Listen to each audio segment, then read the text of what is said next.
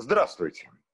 В эфире проект «Книжный постпродакшн». Это совместный проект Библиотеки иностранной литературы и замечательного издательства редакция Елены Шубиной. Собственно, о чем постпродакшн? О судьбе книг, а также о судьбе авторов и о судьбе нас, читателей. И о том, как все эти судьбы сплетены в одну удивительную единую судьбу. Вот о чем будет разговор. Его ведущие неизменные ведущие. Бренд-менеджер издательства редакции Елены Шубиной Татьяна Стоянова. А, и Алексей Юдин, советник э, директора иностранки. Все точно, все пока совпадает. Так, наш сегодняшний гость, ну, хотя, собственно, какой-то гость, да, наш сегодняшний герой, Людмила Евгеньевна Улицкая. Вот она. Добрый день. Здравствуйте. Добрый день, Евгеньевна. Ура. Людмила Евгеньевна с нами. Вот. И тема, а, собственно, подсказанная Людмилой Евгеньевной, вернее, намеченная, разработанная, по-моему, точно попадает вот в сегодняшний день. Двор, центр мира. Собственно говоря, а что у нас еще осталось? Двор. Кто счастлив с собачкой или по каким другим нужным, туда все-таки выходит, остальные его созерцают. Но какая глубина в этом дворе? Там действительно вся жизнь. Людмила Евгеньевна, ну, я думаю, надо начинать. Алеш, понимаете, дело в том, что сегодня то, что мы называем двор, чрезвычайно отличается от того, что было двором во времена, скажем, моего детства. Потому что в каком-то смысле двор погиб. Это не то, что то, что мы сейчас имеем, это отдаленное, весьма отдаленное э, напоминание о том, что, что значил для нас двор во времена нашего детства. Потому что это был маленький социум, наполненный чрезвычайно разными людьми, которые были э, сплетены в такую жизнь, которая, наверное, осталась только в деревне. Это летний двор, где висели э, на веревках белье, которое сушилось круглый год. Э, зимой ледяным его вносили в дом, разминали, гладили. Летом оно болталось посреди двора под ветерком. А, и люди в этом дворе все друг друга знали, а, все детали жизни, кто с кем, когда, где, а, все свадьбы и все похороны проходили во дворе. Этот доминошный стол, на котором мужики забивали домино, либо играли в карты, тоже бывало. Это двор, в котором было много инвалидов, потому что мое детство пришлось на послевоенные годы. И, может быть, одна из самых отчаянных и невероятных картинок, которые у меня застряла в голове с детства, это как на второй этаж по лестнице, которая, которая к дому пристроена снаружи, деревянный ветхий домик, по нему поднимает тетя Нюра своего безногого, абсолютно пьяного мужа, который держится у нее на спине, одной рукой за плечи ведет, а второй рукой он ее лупит по башке. Вот эта картина, мне было лет пять она на самом деле не выгорает. Наоборот, я очень многие картинки детства, они делаются все ярче, потому что все это оказывается не просто прошлым, это оказывается археологическим прошлым.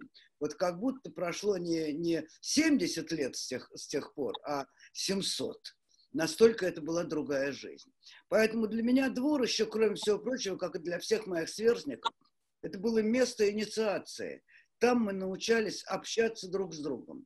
Там устанавливались первые иерархии. Иерархии силы, где самый сильный мальчик самый главный.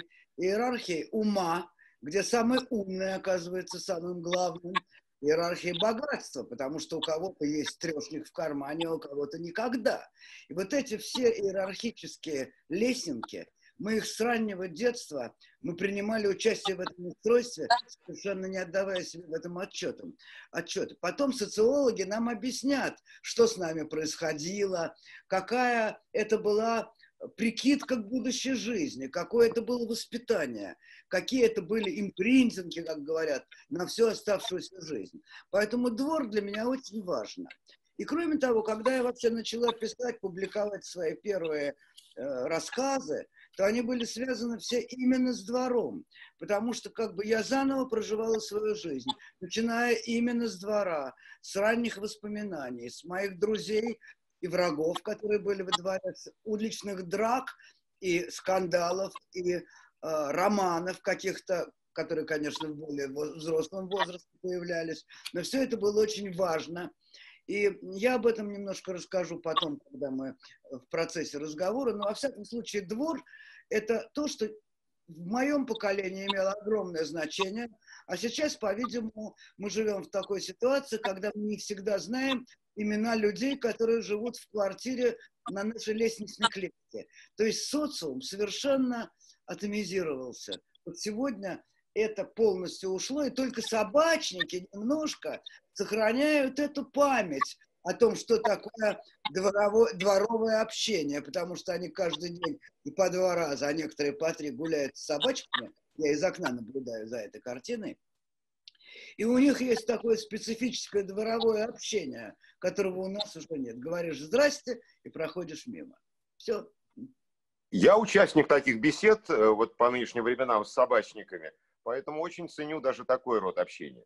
Но, Людмила Евгеньевна, несколько раз прозвучало слово археология. Оно мне очень интересно, и давайте вот тогда за, э, возьмемся за это, начнем копать.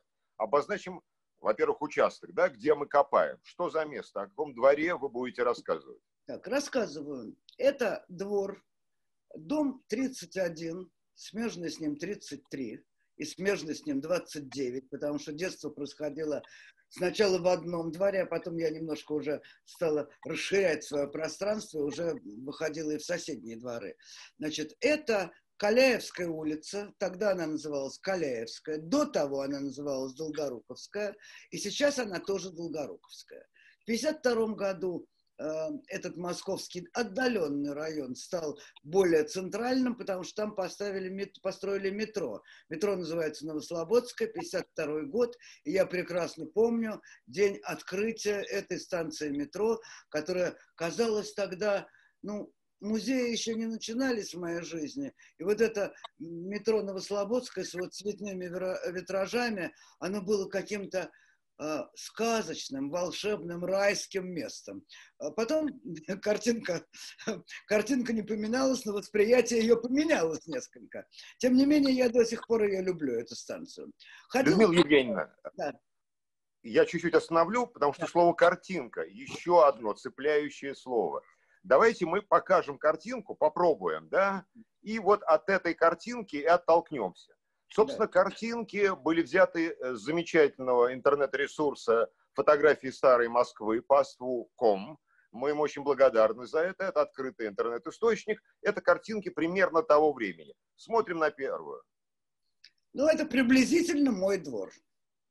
Это приблизительно мой двор.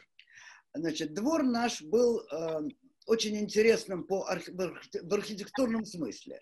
Потому что тот э, домик, который выходил на улицу, он был до пожарной. То есть до пожара 812 года. Конечно, в это время это была не Москва, а это был э, ну не пригород, а слобода. Слово Новослободское как раз говорит о том, что это новая слобода. Это значит, что были еще старые слободы, которые были ближе, по-видимому, к городу. Вот. И вот это самое, этот самый домик, а, в котором жили люди, которых я помню еще. А, потом к нему было пристроен второй этаж, там жили вот это вот самое семейство, где был безногий инвалид, довольно сильный пьяница, потом он замерз около входа около лестницы, он не смог подняться, видимо, зимой это было. Вот. Потом был флигель, в котором жила наша семья. Этот флигель когда-то принадлежал э, хозяевам того дома, который показали в начале, дома 29. Это, были, это был господский, господский флигель, э, и была когда-то очень хорошая, видимо, квартира, в которой жила моя бабушка, но она уже к этому времени была коммунальной, и от старых времен в ней осталась в квартире раковина, э, вся э, в тюльпанах, э, я не скажу, не, не нарисовано, но это какое-то очень художественное произведение, раковина, на которой были изображены тюльпаны. Она была вся, конечно, потрескавшаяся и еле-еле живая, еле стояла, но тем не менее, как бабушка говорила, старая красавица про нее. Была ванна, редкость по тем временам. Она топилась дровами, и раз в неделю эту ванную, значит, топили этот котел под ванной, и это было Э, большое событие, потому что сбегались не только жители нашей квартиры, но также и знакомые к тому времени, когда уже самая горячая вода проходила у хозяев у нас, то к этому времени приходили знакомые, которые уже не менее горячей водой домывались. Вот. Это э, наш дом, флигель, который был, может быть, самым благородным из всех строений. И, кроме того, во дворе были два барака – Бараки были построены до войны, когда Москву начали заселять э, приезжие. Сейчас бы мы их назвали лимитчиками, тогда такого слова не было. Не было. Но это были люди, приехавшие из деревни, бежавшие из, из деревни. Какие-то, одна была семья точно раскулаченная, каким, которым удалось сбежать. И, конечно, у них был, быт был совершенно иной. То есть в одном дворе двор был длинный, он состоял как бы из переднего двора и заднего, Дальше была школа, а за школой была так называемая Котяшкина деревня. Это было барачное такое место, в котором было несколько бараков, а, а напротив этих бараков стояло здание, в котором сегодня РГГУ. Это здание курсов... Отдельно. Мы очень далеко ушли, нам сейчас а это все двор, это все мой двор, это вся эта, вся эта округа. И это нельзя, нельзя это не упомянуть, потому что это имело очень большое значение для девочек нашего двора, которые стали подрастать. Потому что в этой высшей партийной школе, которая была в том здании, где был РГГУ, там учились молодые коммунисты из Италии, из Швеции, откуда угодно. Вероятно. И это был, конечно, большой жизненный подарок, потому что в моем классе было несколько девочек, которые вышли замуж за молодых коммунистов и уехали, кто в Италию, кто в Швецию. И это девочки из нашего двора, которые сделали большую карьеру. Вернемся во двор. Посмотрим на другую картинку. Узнаете? Это крыша моего дома. Это я, я ее узнаю по противоположной улице, конечно. Да, да, это крыша моего дома, но это после 1952 года, потому что трамвайных рельсов здесь уже нет. И, кстати, стоит метро уже. Там в отдалении видна станция метро. Значит, это, видимо, год 53-й. Ну, а это не ваши знакомые, нет там на крыше? Вы знаете, не разгляжу. Ну, потом, вы знаете, это мальчики довольно большие. Мне было в 52 году 9 э, лет. И поэтому с такими взрослыми молодыми людьми я не общалась. У меня были э, друзья помоложе э, с довольно драматическими взаимоотношениями, надо сказать. Так. Посмотрим на другую. Вот такие ваши друзья были? Ну, это практически я. А, э, у меня есть фотография очень похожая. Правда, шуба у меня была желтая. Абсолютно наш двор. Я с шарфиком, в шапочке, в валенках, в галошами. Но у меня шуба была желтая, потому что моя бабушка сшила ее из желтого плюшевого покрывала, а, и эта шуба, а, потом ее еще донашивало много детей. Очень похожая. Практически. А желтая, желтая она из какого материала была желтая? Ну, это был плюш, желтый, довольно пушистый плюш, который лежал на диване. А потом, значит, поскольку с одеждой было очень сложно, то и Э, значит, шили из чего придется. Замечу, годы послевоенные, ранние послевоенные, и вообще ничего нет. Поехали дальше, посмотрим, что еще у вас во дворе. Ну, это уже общая перспектива, да? Да, да, конечно, конечно. Вот здесь я вижу э, даже эта сторона моя, на которой я жила, чуть дальше пройти будет Союз мультфильм. Это все очень мне памятные вещи. Ну, Союз мультфильма это же бывшая церковь, насколько я, я помню. Церковь сзади. Она, а. кстати сказать, до сих пор она не реставрирована, что удивительно. А, но она имеется. Называлось это место церковный тупик. Ну, так mm-hmm. оно, оно, не знаю, какое сейчас название. Mm-hmm. Ну, наверное, еще где-то сохраняется, да, память о церковном тупике. Да нет, это, это полуразрушенная церковь до сих пор стоит. Да, да, да, я это вижу да. довольно часто. Да, Видел, да. поскольку сейчас мы сидим по домам. Да. А, я имею в виду вот эти названия, которые у вас, да, вот еще на памяти из вашего детства, насколько они актуальны сейчас? Ну, вы знаете, это же очень интересно, потому что переименование улиц, оно началось с 20-х годов, переименование. А, но в семье у нас, поскольку бабушка-то э, с 18, 17 -го года жила в Москве, э, то есть довольно к этому времени уже много, она, конечно, помнила все старые названия, поэтому э, всегда Столешников переулок всегда оставался Столешниковым и Петровка Петровкой, и в нашем доме Тверская улица так и называлась Тверской, а не улица Горького. Это все сохранялось. А кроме того, мы же жили на Миусах. Миусские улицы – это Миусские, Тверские, вторая, третья, четвертая, Миусская, первая, вторая, третья. Эти названия отчасти до сих пор сохранились.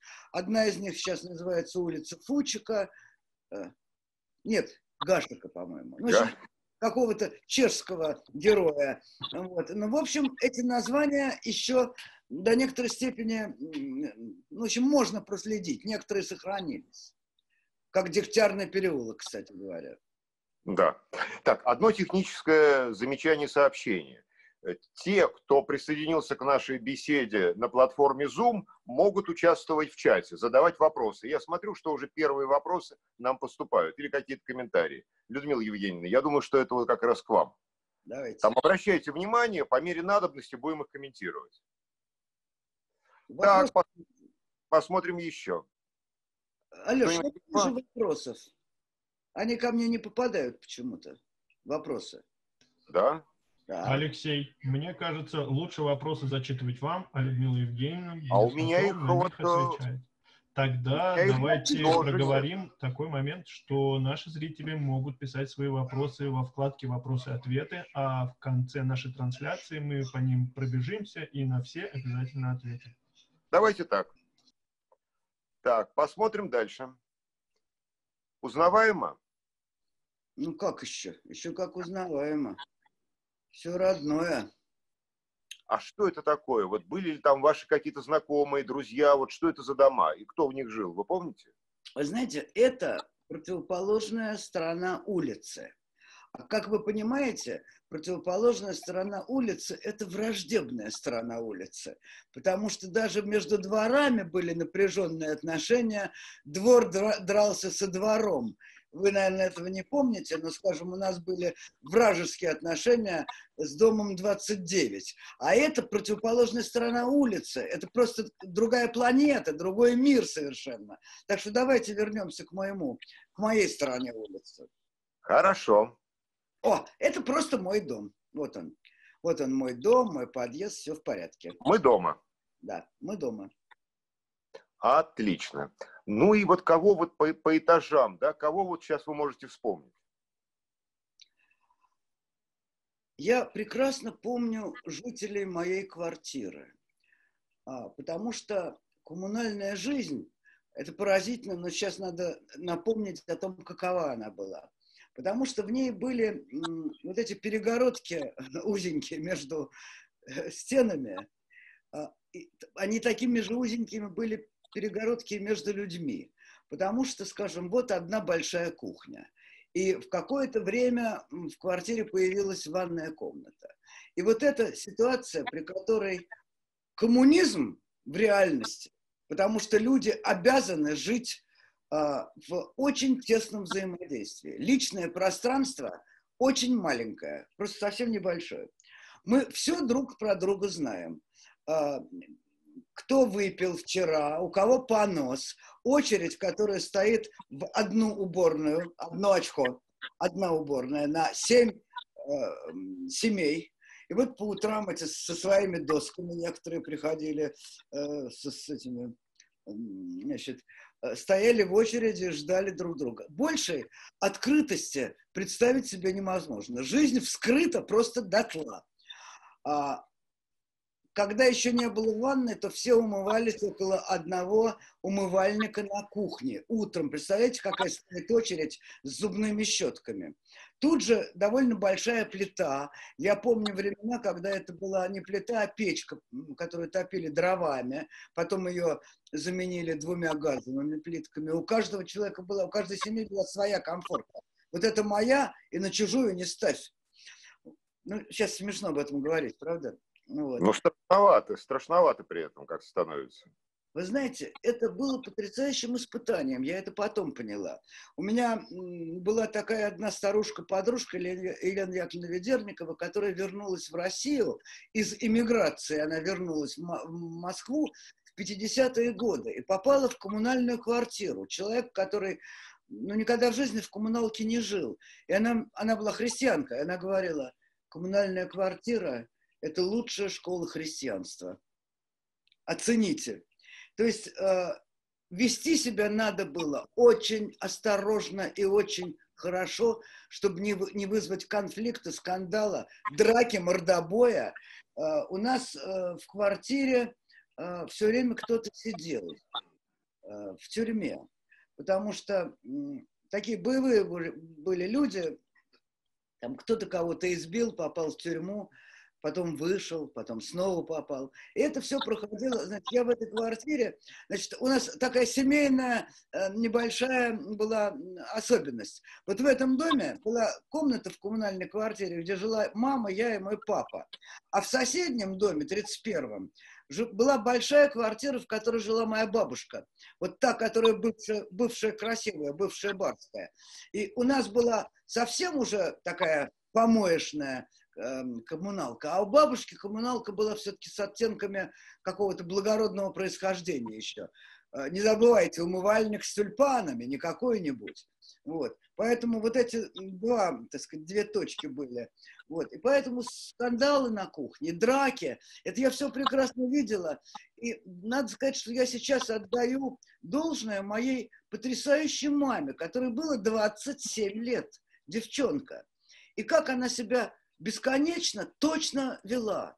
Как, она, как к ней приходили жаловаться одни на других, и как она их утешала, и как она, ну, про трешники я не говорю, потому что мы были богатыми, два человека работали, мама была старшим лаборантом и получала зарплату, ну, раза в полтора больше, чем уборщица. А папа был аспирант у него была аспирантская стипендия, но тоже ежемесячный доход. И поэтому мы были богаче других. И вот эти трешники, которые мамочка всегда моя одалживала, а потом ей не отдавали, а мама была чудесным и доверчивым человеком. И она, я помню, как она плакала, говорила, мне, я же ему отдала все последнее, почему же он мне не отдал? А он пропил, дядь Вася. Вот. И это все было, это все было такой потрясающей на самом деле школой жизни – а я приходила домой, открывала, у меня два ключа. Один от входной двери, а второй от комнаты. И я помню, как я приходила из школы, ну, мама, естественно, родители работали, я была уже одна с ключом. Чтобы открыть дверь, мне надо было перешагнуть через пьяного дядю Васю, который очень любил спать у нас на половичке. Половичок был хороший. Молодец, дядя Вася. Знал, где прикорнуть. Да, нужна сноска трешка, о которой вы говорите, это 3 рубля. Да, да, да. Это большая сумма. Серьезная сумма. Да, это большая сумма была. Так, значит, а что у нас вот на третьем этаже, вообще на чердак, можно было выбраться? И как вот эти вот ребята Знаете, попали на самый... На этот чердак я никогда не выбиралась. Я выбиралась на тот чердак, который был у бабушки в соседнем доме в, 30, в 31-м. А, потому что там была винтовая лестница, она, у бабушки на квартира была на втором этаже, а еще один поворот винтовой лестницы вел на чердак. И ключ от чердака был в доме, потому что на том чердаке белье вешали сушить. И я туда поднималась, поднималась с бабушкой, поднималась потом уже и одна, и там было дико интересно. Потом у нас чердак был более-менее убранный. Бабушка была человеком высоко организованным и очень органично вокруг себя наводила порядок всегда. И поэтому чердак был довольно э, ну, пристойный, там не было такой уж большой грязи.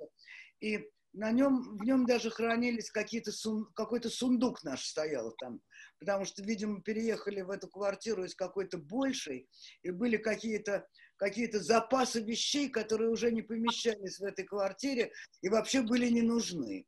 Вот. Какое-то количество книг там хранилось, это я точно помню, и какое-то количество барахла на этом чердаке. Он был приватизированный, скажем так. В него нельзя было войти любому человеку. Там висел замок, надо было его открыть. Ну, коммунально приватизированный, да, как было в то время? Конечно, конечно. Ключик был у Максимовых, у наших соседей. И я не уверена, что с первого этажа люди могли туда подняться. Но были забавные люди, забавные, какие-то старые барыни с остатками одежды, которую они донашивали еще э, с давних времен. А, это было все довольно кинематографично, я бы сказала. Сегодня. То есть, вот, те, кого называли из бывших, да, они еще были живы и вам встречали. Конечно, конечно, конечно. Конечно. Вот такая дама жила одна на первом этаже. А, фамилия, э, семья Максимов, которые были на, напротив нас в квартире, это была семья определенно интеллигентная, определенно антисоветская, очень сильно молчавшая. Они были очень подобранные такие, я бы сказала, знаете, герои э, такие булгаковские, булгаковского времени такого. Вот. Да, остатки таких были. Хотя значительное количество людей было, вот те, кто в бараке жили, конечно, э, полудеревенские. Но я должна вам сказать, что я, вот все-таки есть одна история, которую я не могу не рассказать. Дело в том, что там в соседнем барачном доме э, жила девочка, с которой мы дружили. Звали ее Женя. Мама ее была портниха, а папа был, ну, в общем, папа уже не было к этому времени. И я поступила в университет, а Женя не поступила на дневной. Она пошла работать лаборантом к моей маме. Мама ее взяла в лаборанта. Потом Женя поступила на вечерний. Я закончил университет, и она закончила университет. Она защитила диссертацию, а я диссертацию уже не защитила. И Женя, когда она вышла на пенсию, она уже была кандидатом наук, само собой, если не доктором, и она заведовала лабораторией. Понимаете, вот это ужасно интересная история на самом деле, очень серьезная. Женя все это понимает точно так же, как и я это понимаю. То есть она мне говорила, когда мы с ней через 20 лет, 30 встретились, она мне говорила, ну вы же были первая интеллигентная семья, которых я увидела. И я для нее, вот мое, так сказать, э, мой образ, э, так сказать, э, существования, он был для нее моделью но она, эта модель ее оказалась гораздо лучше, чем мне удалось э, свою, так сказать, научную модель реализовать. Но вот это вот тоже, понимаете, ну я это помню, короче, это, это важно. Это важно, что э, социальных преград, в общем, не было. Э, и при том, что, ну, кроме того, у меня же вообще еще было еще одно клеймо, я же была еврейка.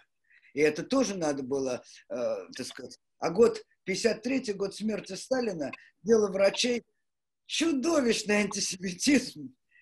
То есть, простите, это было вот прямо реалии вашего детства? Ну, абсолютно, я это не, не, абсолютно не придумываю. Ну, Нет, я знаете... не тому, что, Людмила Евгеньевна, вы много придумываете, но придумываете так, что это круче любой правды, да? Я имею в виду ваше произведение. Ну, нет, но вот ну... то, что это было в вашем детстве, и это было прямо на улице, рядом, на расстоянии вытянутой руки, вот это действительно страшно. Ну да, да это не страшно было, это было дико интересно на самом деле.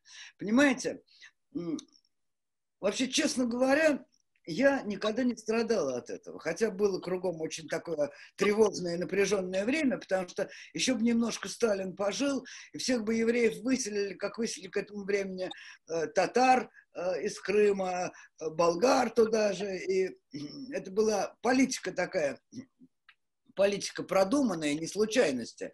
Вот. Поэтому никто не знает, как бы сложилась судьба, так сказать, э, московских евреев. Но я, дело в том, что я дралась. Я отлично дралась. И поэтому ко мне, в общем, со мной опасались мои сверстники связываться. У меня даже была совершенно чудесная история с мальчиком, которого, я думаю, уже нет в живых. Она по этому поводу ну, не, не с еврейским акцентом, нет, просто он все время ко мне приставал и вязался, он мы все время дрались. А я вообще-то была крепкая девочка, и уж точно весом больше его. как бы на, если бы нас взвешивали как борцов, как бо, взвешивают спортсменов, то точно он был бы в другой весовой категории. Худенький, тощенький, злобный. Он был сын дворничья. И я прекрасно помню, как однажды мы с ним дико подрались. Он меня подстерег в подъезде, и когда я вошла в подъезд, он, значит, что такое начал меня лупить. И я его вылок, выволокла на улицу, как-то мы выкатились на улицу, и я его прислонила к стенке, стала его за плечи, об стенку это лупить, башкой. Он так покачивался, и он меня рукой по лицу царапал, потому что отбиться он не мог, я его держала за плечи. Я прихожу домой, у меня вся морда расцарапанная. Мама говорит, как, кто? Я говорю, Светька подралась. И мама взяла меня за ручку и повела меня в дом, домик, хибара, в которой жила эта дворничиха. Муж ее сидел в тот период. У нее было трое детей. И мы входим в дом. Я с расцарапанной мордой. Гневная моя мама. Мы входим в дом. Значит, мама с претензиями, почему морду расцарапал дочке его, мальчик. Пол земляной. Я никогда этого не видел, я никогда этого не забуду. У нас паркет в доме, а у них земляной пол. Естественно, печка, но печки были у всех. И беднота, мы, мы тоже богатыми-то мы не были, но беднота это была заметная. А Витька лежит на кровати, и его тошнит. Вот сколько должно было пройти лет, чтобы я поняла, что у него сотрясение мозга было что это я его тротнула так об стенку, что он блевал не потому, что он объелся, а потому что я его башку присадила к стене крепко. Эта история у меня хранится, хранится. Но у нее есть эпилог. Эпилог ее такой. Вот на этом самом месте, когда мне было 23 года, я училась в университете, вот ровно около этих ворот. Я туда попала, я уже жила в другом месте, шла по этому, по этой улице родной, и навстречу мне идет Витька. Идет Витька, тощий, маленький, с, с, с остальными зубами, абсолютно лысый. И явно, что уже после первой ходки, это абсолютно ясно, что он уже вышел из тюрьмы. Я иду навстречу, он распахивает руки, вот так и говорит, Люська, привет! Я говорю, Витька, привет. Как же я в тебя был влюблен в детстве. Ах, это была любовь, Людмила Евгеньевна. Ну, ну, это, ну, вы знаете, у меня до сих пор, я уверена, что его нет в живых уже. А у меня мамку трамваем зарезала, говорит он мне. Я, вы знаете, я сейчас это вспоминаю, у меня мурашки на самом деле. Это мой современник, это мой однодворник. Э, это неправильно употребленное слово, но, понимаете, вот эм, уровень родства, которое устанавливалось во дворе, абсолютно непостижимое. Понимаете, вот э, девочка Женя Засорина, с которой мы дружили в детстве, по сей день мы с ней иногда встречаемся. Э, я вспоминаю, вспоминаю этого Витьку, даже рассказ написала про него.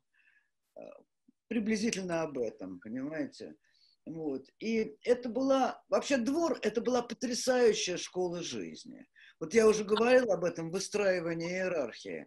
Когда человек проходит через жизнь двора, он знает, как это происходит. Может быть, не головой, а какой-то психофизикой своей. Он видит человека более сильного.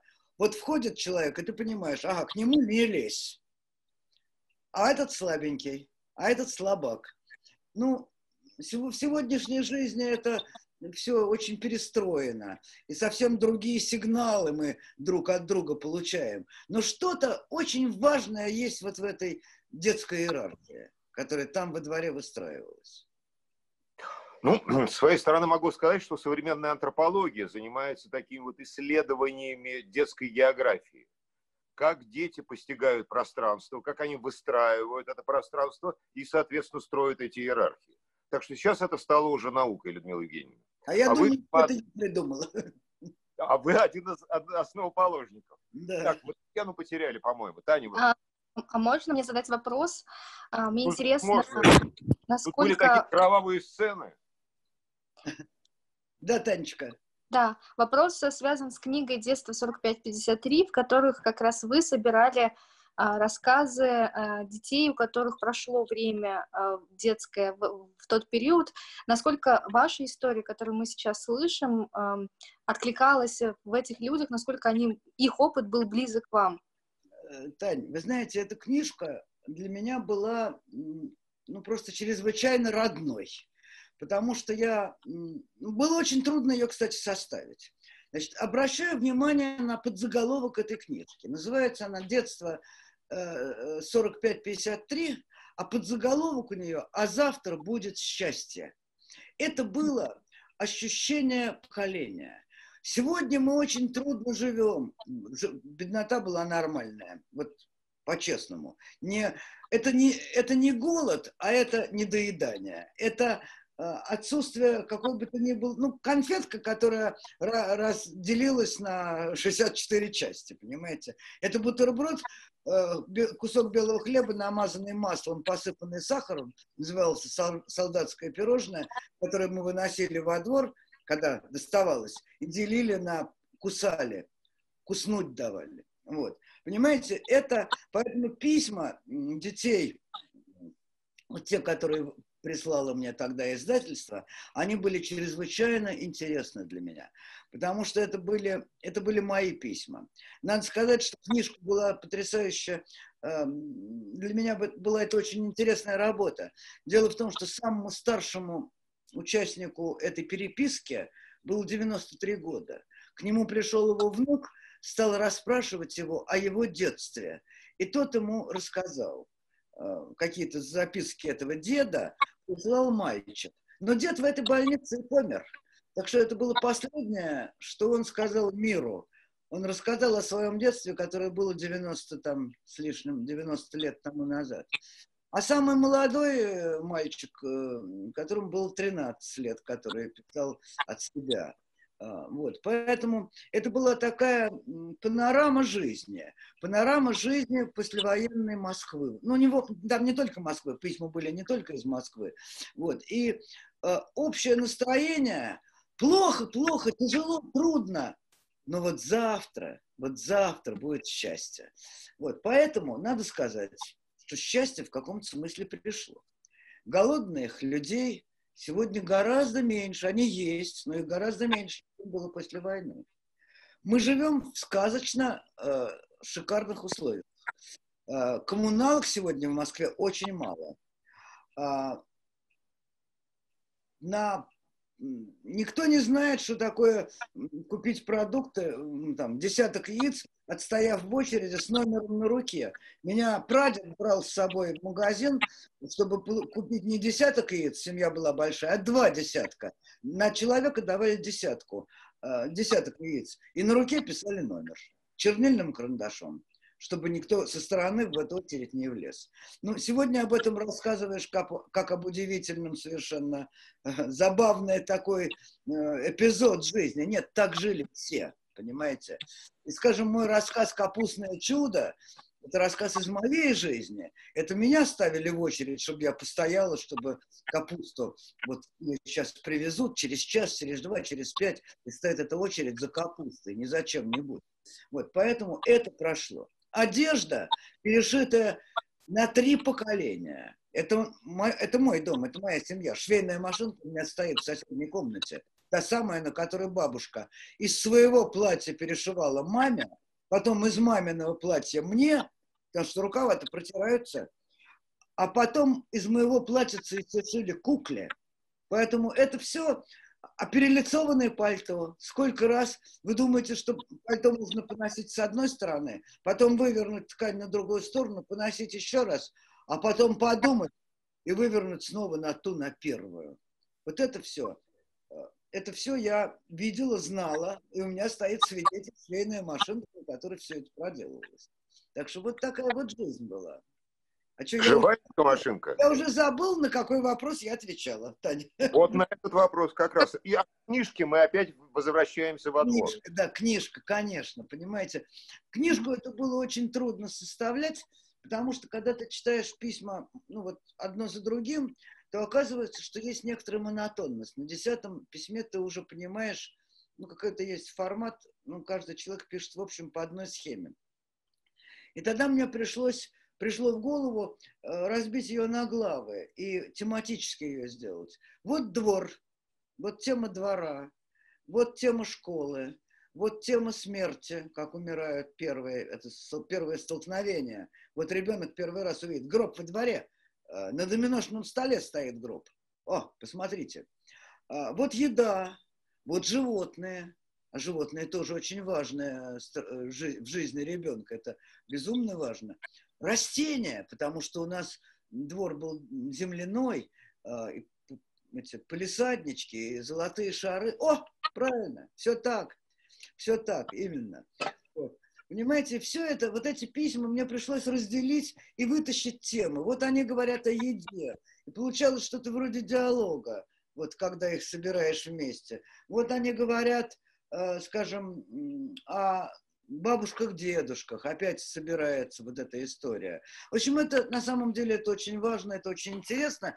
И вообще мне кажется, что в последнее время а, вот эта литература, называемая нон-фикшн, она стала интереснее, чем художественная. Вот я, во всяком случае, для меня, я сейчас гораздо с большим интересом читаю Э, такого рода литературу, мемуарную, э, чем художественную. Так случилось. Но вот в книге «Москва. Место встречи» как раз ваш э, рассказ о детстве и Москве ваш, вашего детства есть мемуарный, правильно? Да, ну конечно, конечно, mm-hmm. с удовольствием вспоминаю об этом. Это вообще я всех моих знакомых и незнакомых к этому призываю. Дело в том, что когда ты набираешь какое-то количество лет, то события, которые с тобой происходили в жизни, их надо пересмотреть как в кино. И оказывается, что то, что мы держим как незначительное, оказывается, оно важное. А то, что казалось важным, оно вроде не очень важное. Я помню, что у меня э, в школьные годы было некоторое, хотел сказать, партсобрание. Это было не партсобрание, это было комсомольское собрание, в котором меня распекали за то, что я Э, носила короткую и узкую юбку. Ну, короткая юбка в те времена это до колен, как вы понимаете. Вот. И кто-то меня там на улице встретил, и я шла в обнимку с молодым человеком, 15 лет мне было. В обнимку с молодым человеком, к тому же в узкой юбке. И вот на меня, значит, был большой разбор. Мне на самом деле было все это немножко смешно. Но на самом деле я ужасно боялся, что меня из школы выгонят. И тогда мне родители устроят такое, что будет почище этого ихнего партсобрания. Вот. Но меня из школы не выгнали. И сегодня я об этом эпизоде вспоминаю с улыбочкой. А тогда я помню, что я просто была в ужасе, ожидая каких-то ужасных последствий для себя. Вот замечательно, что мы вспомнили эту книжку «Москва. Место встречи». Там самые разные авторы, но, конечно, Людмила Евгеньевна там блещет. И я приведу прямо цитату, которая нам позволит двинуться дальше. Я цитирую действительно. «Освоение пространства шло почему-то нелегально. Мне не разрешали ходить по улицам одной, но временами я совершала рейды по расширению мира. И давайте вот так же нелегально, с учетом нынешней э, да, ситуации, ну, вместе с Людмилой Евгеньевной мы двинемся дальше. Видим, что мы видим? Это, это Мюский скверик. Да, правильно? Он... А как же? Ну, конечно. А это там и это самое здание женских курсов, забыла фамилию. Бабушка моя приехала из Калуги туда учиться. До революции, естественно. Потом здесь высшая партийная школа была, а сейчас РГГУ. И вот мой любимый скверик. Тогда он выглядел иначе. А иначе как? Выше, ниже? Значит, э, вы знаете, что самое поразительное, до недавнего времени, лет 10 тому назад еще, я видела японские акации. Там были очень странные, некрупные деревья, ну, скажем, в человеческий рост, э, очень старые, с изогнутыми стволами, очень причудливые. И вот они были засажены там эти деревья. Потом они постепенно, конечно, погибали, и на их месте вот высаживали вот эти вот. Почему я сразу сквер-то не узнала? Потому что деревья, молодые новые деревья. Во времена моего детства были другие деревья. Либо были вот эти японцы, либо были какие-то просто старые деревья. Кроме того, там был фонтан. он был вот здесь, вот ровно с этой стороны правее. Значит, около этого фонтана мы гуляли. Значит, дело в том, что в детский сад я никогда не ходила. А, но меня отправили в детскую группу. Детская группа – это прогулочная группа, некоторая старушка из бывших, э, с немецким языком. Она была, как я понимаю, из Риги, и, вероятно, немка, судя по некоторым... В общем, она была чужак в этом городе, и она держала детскую прогулочную группу, и вот здесь на Миусах мы собирались. Э, это были... Часть этих детишек до сих пор мои друзья. Некоторые уже умерли. Значит, э, она нас э, научила вот так говорить, а так да, э, дертыш, да, штуль. Я с тех пор, я большой знаток немецкого языка. Вот. Значит, и вот там, там мы гуляли. Меня туда отводили, либо отводили к ней на квартиру. На Миусах у нее была квартира в коммуналке тоже. Вот. И для меня начинался Миусский этот скверик именно с этих прогулочных групп. Ну, потом, естественно, я подросла, и Миусы уже были местом, куда я могла убежать лет в семь. Не разрешали из двора уходить, но я убегала, конечно. Вот. И самый большой мой был побег – это э, до Тверской. Вот, дойти до улицы Там меня один раз мой дядя поймал. Дядя был лет 20, наверное. Он меня там за ухо поймал, отвел домой – и я ожидала грандиозного скандала. А он очень благородно поступил, он никому ничего не сказал. Он мне сказал, больше не ходи. Вот. Это было исследование мира. Это было дерзкое э, географическое открытие э, города. Вот. А что касается Миусского, потом Миусский скверик стал местом свиданий. Э, до сих пор я прохожу мимо, и так на него смотрю. Э, с нежностью. К счастью, он еще есть. Он не очень сильно изменился, довольно запущенный, но все-таки он есть, это приятно. Что там не построили четыре многоэтажки, например, на этом месте. Там еще была церковь когда-то рядом. О! Она. Она. И вы ее видели? Вот в таком виде или в каком-то В таком виде я ее не помню. Я ее помню в виде взорванном. Дело в том, что она была очень прочно построена. Если, если мне память не изменяет, она была Александра Невского, должна была быть.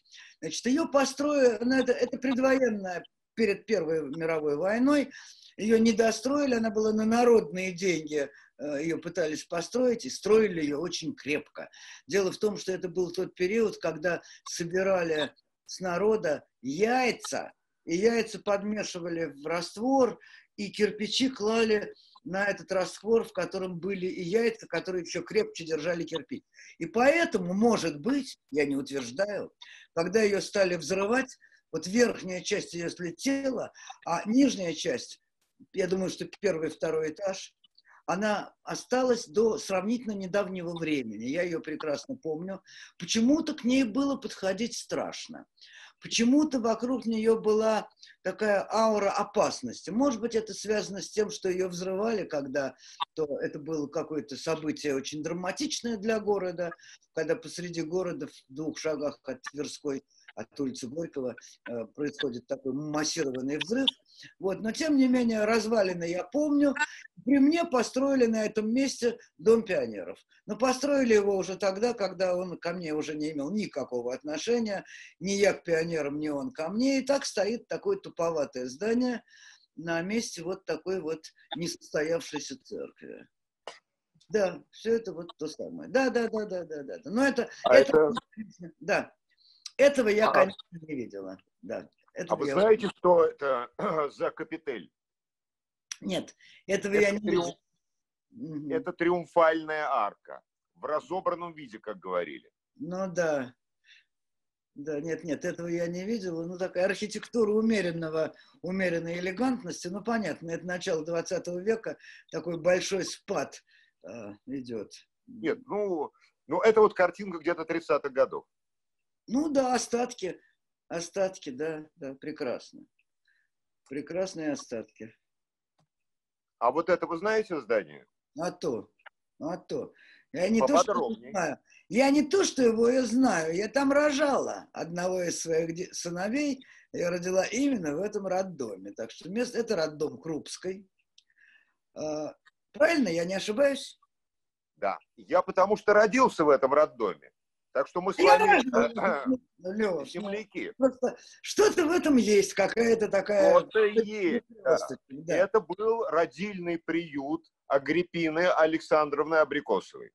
Первый такого рода с гинекологической клиникой. Отлично, отлично. Причем тут Надежда Константиновна, можно только догадываться, но учредительница, да. основательница именно Агриппина Александровна Абрикосова.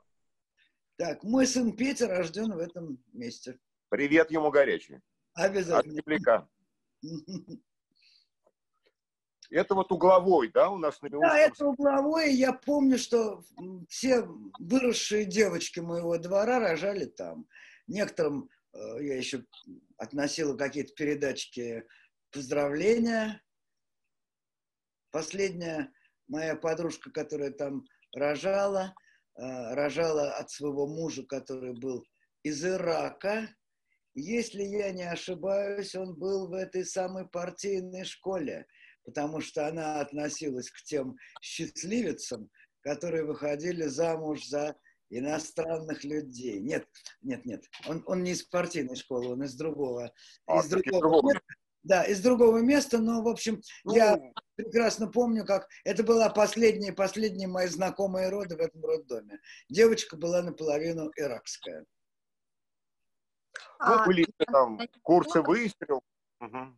Да, да, да, да о теле души там было что-то подобное, нет? Что-что, Тань?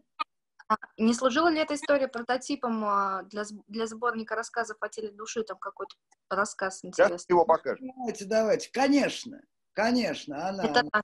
история, да? Она. Пора показать книжечки. Вот о теле души. Да. Угу. И здесь, да, здесь, э, ну вот, э, Татьяна, может, вы расскажете вот о судьбе, потому что эта книжка прямо вплетается в нашу сегодняшнюю беседу, ну, Алёш, самым образом. Значит, в связи с э, обстоятельствами нашей новой жизни, в которой вступил, в которой вступила в режим самоизоляции, я занимаюсь разборкой книжек. Э, так представляю, пыли ужасное количество. И кто-то меня недавно спросил, а вот что послужило основой вот для этого сборника? Значит, основой для этого сборника послужила вот эта полка. Вот она, вот она. Это разного рода эзотерическая литература, которую я с юности э, очень э, любил читать. Там все книги мертвых, тибетская, египетская, все. Это мне было дико интересно. Поэтому значит, это, э, потом это мне перестало быть интересно, но, видимо, забыл, забыл, но все-таки что-то остается.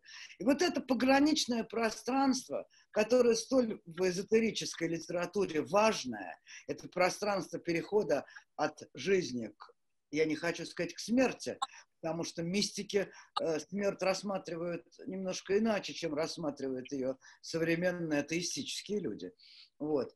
Поэтому я была довольно грамотна в этом вопросе. Э, Все забыла. К счастью, у меня очень плохая память, поэтому я э, что-то оседает, а где, откуда, что, что, что пришло, я не знаю. Но в этой книжке, конечно, следы моих больших чтений э, в юности вот этой всякой разнообразной эзотерики. Потому что это не моя, не моя причуда и не мой какой-то интеллектуальный сбой. Это то, что было интересно человечеству всегда. Вот всегда э, и э, философы, и э, религиозные учителя, и просто люди, которые задумываются о жизни, эта граница невероятно притягательна. Она всегда безумно интересна. И каждому человеку, что бы он ни думал, верующий он или неверующий, Сегодня в Страстную субботу об этом особенно э, приятно вспомнить, что вот эта граница, конечно, да, она проходит все люди верующие. Только одни веруют в Бога, а другие веруют в то, что его нет. Вот эта вот э, граница, она по-разному, разными людьми читается. И сегодня э, она особенно размыта, как никогда прежде, потому что ученые себе исследуют, исследуют, исследуют какие-то вещи, вдруг останавливаются, говорят, а здесь тайна. Ученые. Ученые это говорят, а здесь все. Вот, поэтому книжка – это попытка подойти к этой области. Для меня очень важная. Эту книжку я с радостью, большим кайфом я ее писала. Она мне, она мне очень важна, эта книжка. Я очень рада. Может быть, она будет и последняя как раз книжка. Для последней очень хорошая тематика, я бы сказала. Ну, и ну, название да. просто лучше не придумаешь. Да. А можно я еще дополню? А, мне кажется, что эта книга а, в каком-то смысле не только, она не только о смерти и переходе из какого-то состояния в другое, но она еще и о любви и о, о, о надежде.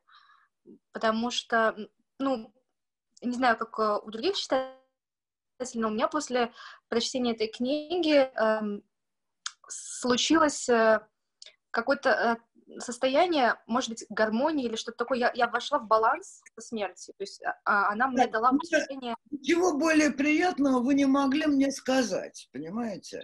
Дело в том, что вот эта вот э, триада христианская, вера, надежда, любовь, вот э, надежда там стоит в серединке, и она, э, про веру мы что-то знаем, ну, как бы верующие, неверующие. Особенно приятно, что мы сегодня об этом говорим. Э, вот. Про любовь нам тоже понятно из опыта.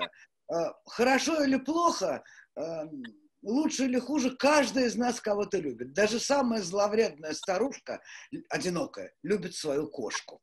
Про любовь мы что-то знаем. Про надежду мы знаем меньше всего, потому что она очень эфемерная. И в этом смысле книжка, конечно, про надежду на то, что нас ожидает будущее.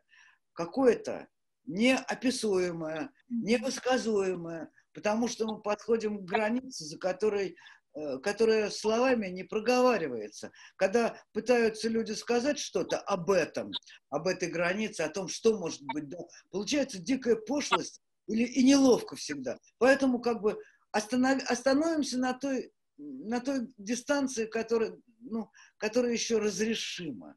Вот дошли до слова надежда. Мы на что-то надеемся. И будем надеяться впредь. Это хорошее чувство надежды. Угу. Особенно сегодня, когда так фигово вообще на дворе. Будем надеяться.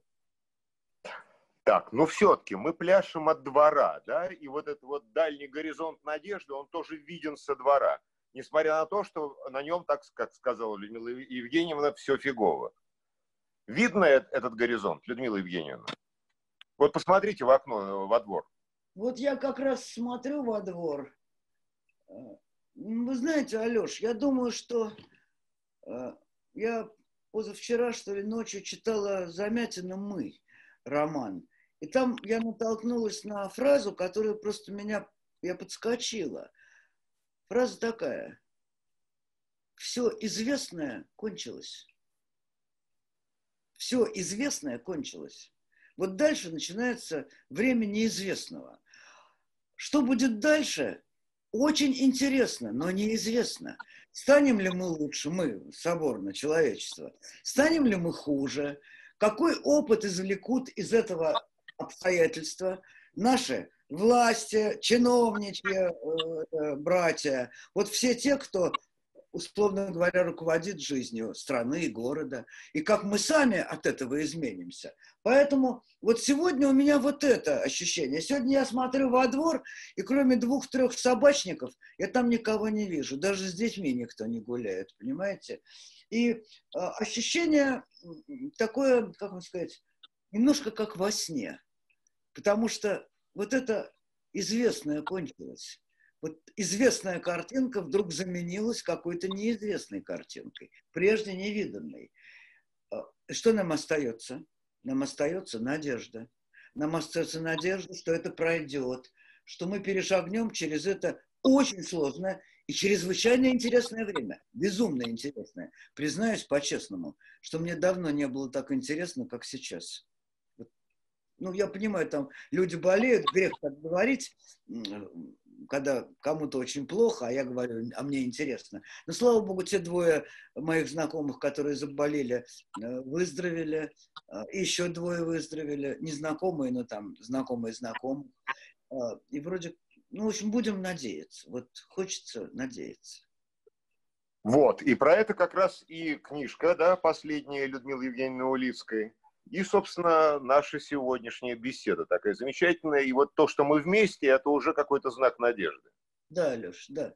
И то, что связи не прерываются, и то, что я вижу Таню, которая постоянно у меня в компьютере появляется, постоянно, постоянно. Так, еще одно письмо от Стояновой.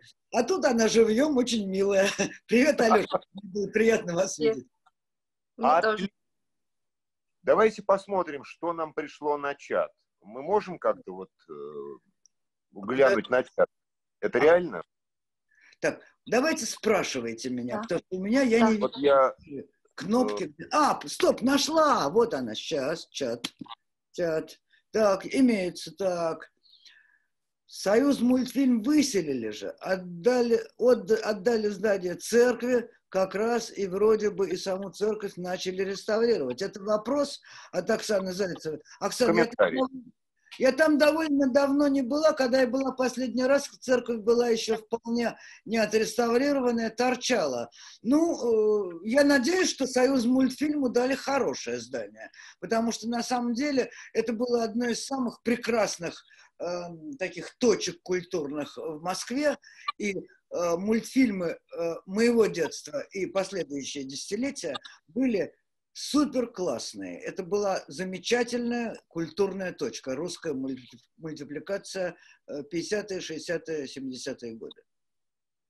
У меня есть вопрос, Людмила Евгеньевна. А, совсем недавно вышла книга «Чума», которую как раз вы отыскали, пока были на самоизоляции. Это давняя-давняя рукопись. Расскажите, пожалуйста, о ней, поскольку сейчас это, мне кажется, очень актуально. А, значит, вы знаете, это не совсем книга. Дело в том, что 42 года тому назад мне было 35 лет. И я э, собралась поступать на курсы сценаристов. Здесь у нас неподалеку жил Валерий Фрид. Фрид и Дунский была такая пара замечательная э, профессионалов, сценаристов, отсидевших. Э, не помню, замечательные фильмы у них были. И он набирал курсы э, молодых ребят, которых, э, которые бы на, эти, на этих сцена, курсах, сценарах он бы учил писать сценарии. И я подала этот сценарий ему, чтобы он меня принял. Он позвонил мне через пару дней, сказал, что э, он меня не примет. Я немножко расстроилась, но нет, так нет. Он говорит, да вы все умеете. Это был сценарий «Чума». Я его нашла буквально пару недель тому назад. Я его нашла, прочитала. Ну, сегодня я бы этот сценарий написала немножко по-другому, но это было абсолютно пристойно. Я даю слово, что я поправила два слова и четыре запятых.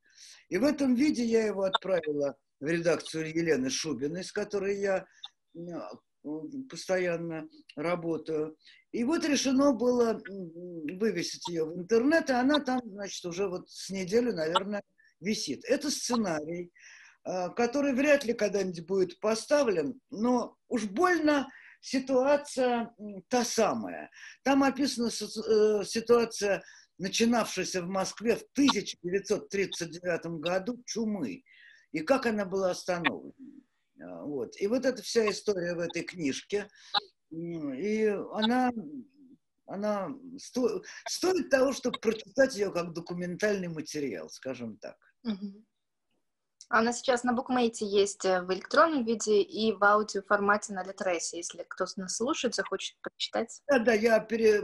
да, Голуб... Мика Голубовский у меня, я ему тоже отправил, он повесил ее у себя в сетях. Mm-hmm. Так, еще здесь я вижу вопрос. Спасибо. Так, так, так, так. Так, спасибо. Недавно почитаю, так, некоторые... Так, вопросов нету. А, вот, как спустя годы вы ловите воспоминания? Ну, вы знаете, я считаю, что у меня на самом деле память очень плохая. Я сегодняшнего дня события довольно легко запоминаю. А вот события детские, юношеские я довольно хорошо помню. Говорят, что это свойство старости. Но на самом деле я на этот случай даю всем совет. Надо писать.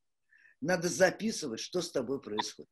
Дневники, записные книжки – это дико полезно. Вот у меня записные книжки в непрерывке практически с 1900 не то 73 не то 76 года.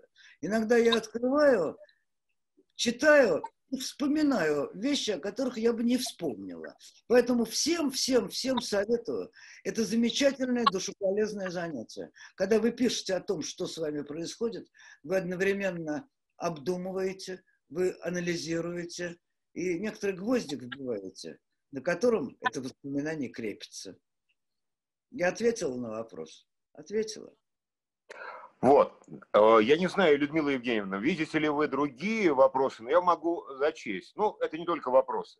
Спасибо Людмиле Евгеньевне за позицию творчества и жизни. Это все большое... Вопрос-то нету, я и не отвечаю, говорю спасибо, спасибо. Хорошо, я просто зачитываю. Вот, кстати, помимо всяких спасибо замечательных, а где сейчас центр жизни современного горожанина?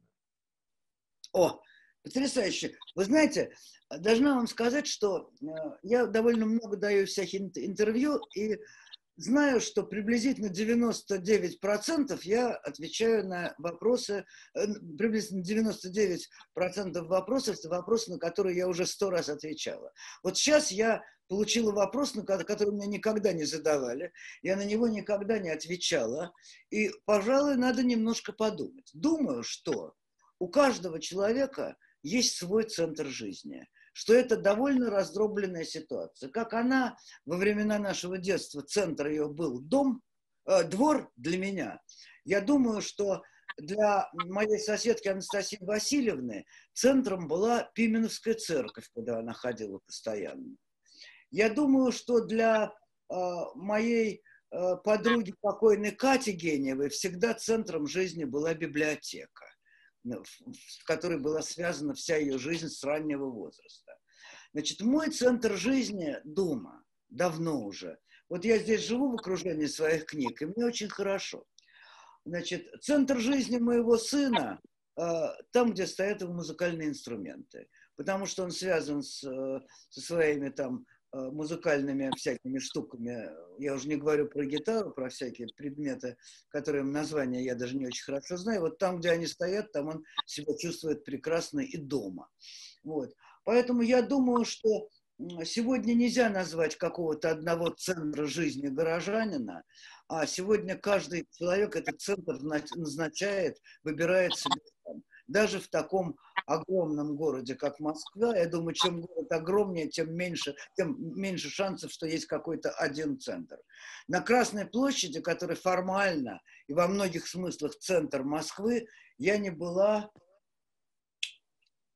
лет 25, наверное. Последний раз какого-то иностранного приятеля водила на эту Красную площадь. А ведь это, несомненно, центр города, понимаете, самое сердце нашей столицы. Вот поэтому я думаю, что каждый за себя здесь отвечает, где у него центр.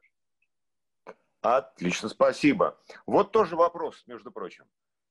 Какими вырастут дети, не имевшие опыта дворовой жизни? Ой, вы знаете, вот этот вопрос, который меня тоже очень интересует. Дело в том, что я на самом деле этого не понимаю. Потому что ну, сегодня существует структура детских садов. И первая социализация детей, которые ходят в детские сады, происходит там. Это социализация казенная. То есть там есть начальство и э, подчиненные. Детки, э, которые должны слушаться няню, воспитательницу, уборщицу, кого угодно взрослого. Это сильно отличается от дворовой ситуации, где э, совершенно по-другому выстроена иерархия. Значит, а, я думаю, что сегодня в большей степени 10 социализируется с помощью вот этого предмета. Жизненный опыт современных детей, он а, в большой степени получается из а, телефонов, смартфонов, планшетов и прочее, прочее. Когда ко мне приходят, э, ну вот, моим, у меня три внука и внучка, значит, мальчики, внуки из, э, не вылезают из э, своих аппаратов, но им, правда, дома запрещают, поэтому они скорее украдкой значит, туда влезают. Ко мне, приходит ко мне, когда моя внучка тоже, так сказать, ну, надо ее отвлечь от телефона. Вот. Я думаю, что сегодня мы находимся с вами на такой, на такой, эм, на такой границе цивилизационной, где надо нам прикладывать все усилия к тому, чтобы ребенок увидел живое дерево и живую собаку, а не нарисованное дерево и не сфотографированную и с помощью телефона увиденное животное. Это э, потеря чувства реальности. Это очень э, я хотел сказать опасная. Нет, это не опасно. Это очень интересная вещь в наше время. Я не знаю, как социализируются сегодняшние дети. Думаю, что все-таки абсолютно иным способом, который мне не очень нравится. Но это, ребята, проблема ваша. Проблема молодых родителей, которым надо помогать своим детям входить в это пространство, и чтобы оно не было все-таки слишком э, технологичным чтобы все-таки в нем оставалось место этому самому цветочку, деревцу и собачке. Это необходимо. Дело в том, что я прекрасно знаю детей, которые кролика и зайчика знают только по картинке. И удивляются живого. Так, послушаем еще один вопрос.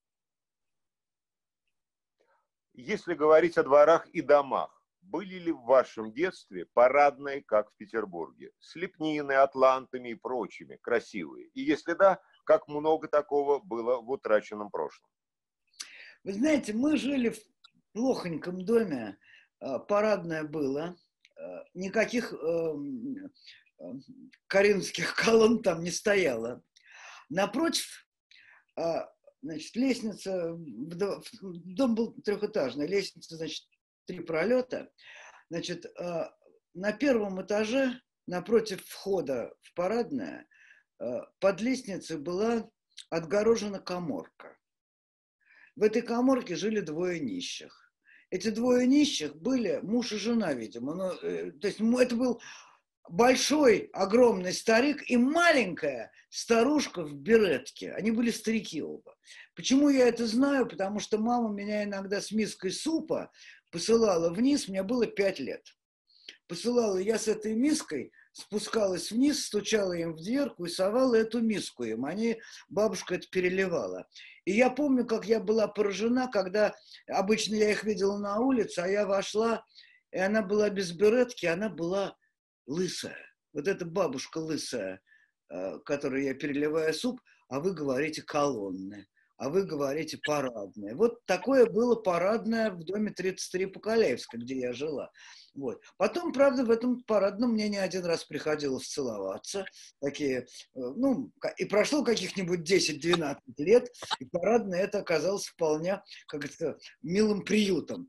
Вот. Но парадная, которая в бабушкиной квартире, в соседнем доме 33-м, она была более пристойная. Там была винтовая лестница, которая вела на второй этаж, и был чердак, и был э, подвал. Все это было жутко истрепанное, но все-таки были какие-то остатки э, благородства в этом, фи, э, в этом, в этом флигеле. Ну, говорю, это тюльпаны на растрескавшейся умывальники. Вот, вот что там было.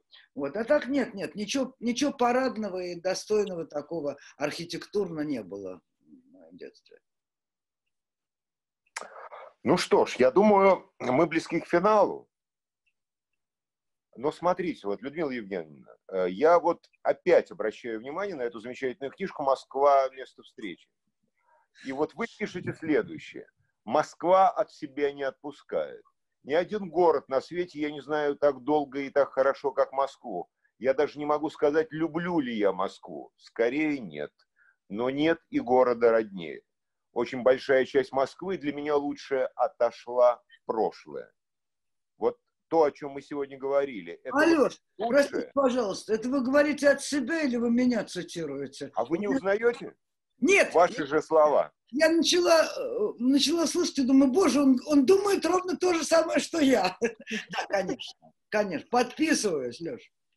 Это вот, это остается по-прежнему так, как было написано. Да, да. Без корректив. Не могу ничего к этому добавить. Единственное, что сейчас у меня появился какой-то новый оттенок, я бы сказал, такой нежной жалости.